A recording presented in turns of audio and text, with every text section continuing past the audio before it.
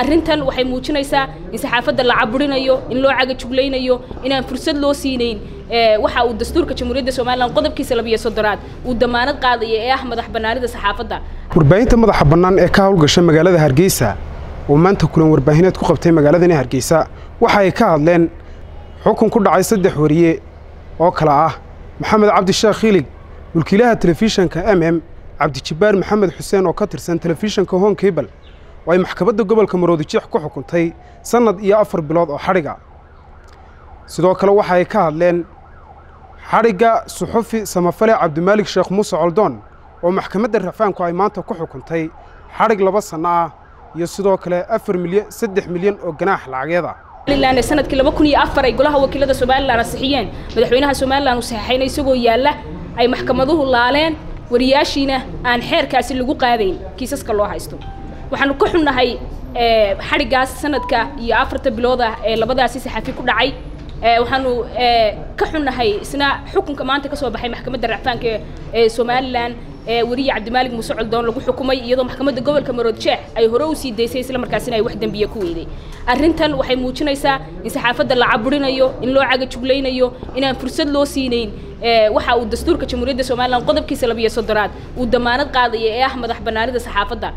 Sidaa loo sheegay wariyaasha xidhan ee maanta uu xukun ku dhacay maxamed cabdisheekh ilig oo ah guddoomiyaha telefishinka hon cable m m cabdijabbaar oo cabdijabbaar maxamed oo isna hon cable ahaa iyo cabdimaalik sheekh muuse coldoon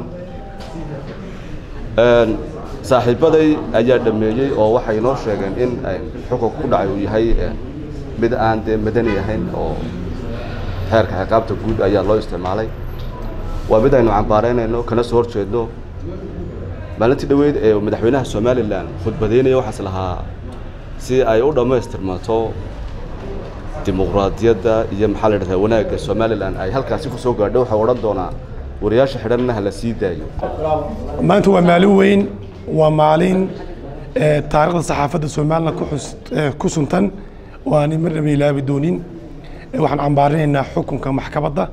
Waxaanu jeclahay in walaalahay cabdijabbaar maxamed cabdiilig labaduba iyagoo xora dalkoodii ciiddooda ay joogaan oo ay ka waramaan oo shaqadii quruxda badnayd ay soo wadi jiray ka waramaan. Marka mar kale waan cambaarinaynaa xadhigaasi waanan ka xunnahay. Saxaafadda somalilan intii somalilan jirtay soddonkii sano waxay ka qayb qaadatay horumarka dhisitaanka ammaanka dhaqaalaha siyaasadda. Uma qalmaan in la xidho.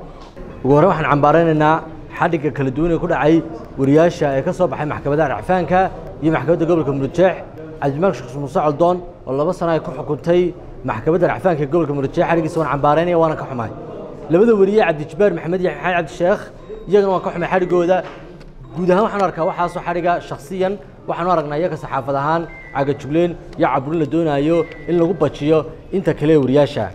Waxaanu aragnaa godob ay u qabaan dad gaaray saxaafadda iyo cadaawad ay u abuurayaan saxaafadda somalilan ee qarankan iyo ummaddan u shaqaysa inay tahay. Xukunka maanta lagu riday labada suxufi ee saddexda ahaa midna la sii daayey labadana la xukumay. Waxaanu aragnaa xukunkaasi inuu yahay mid sharci darro ah inuu yahay mid baalmarsan sharciga saxaafadda. Waxaan xukuumadda ka codsanaynaa in xeerka ciqaabta guud ee saxaafadda lala daba socdo.